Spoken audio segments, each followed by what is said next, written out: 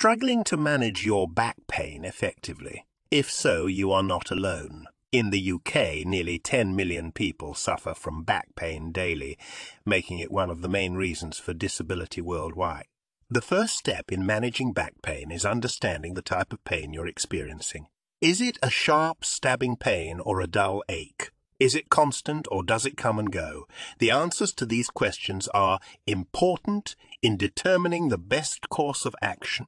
Secondly, physical activity is crucial. Simple exercises like walking or swimming help strengthen the muscles in your back, improving your posture and flexibility. Thirdly, maintain a healthy weight.